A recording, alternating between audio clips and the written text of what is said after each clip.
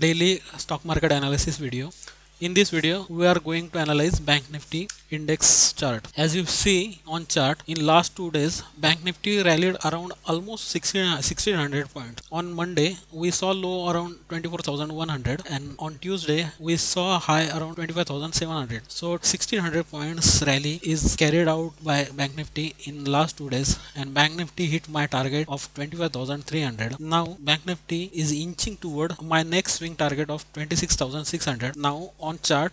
Bank nifty looks somewhat overbought. Rsi also overbought. So expect some consolidation and correction. So expect uh, some correction around 25200 levels or below that. And on next move when comes expect a target of 26600 if uh, results are good from us uh, election and market appreciate it then we can see this rally might continue in overbought position and for longer period. About 26600 bank nifty will enter super bullish mode and traders can expect 28400 to 30000 levels on bank nifty in november series. But for that bank nifty have to stay above 26600 on strong volume and then this momentum can continue towards a new high for short terms.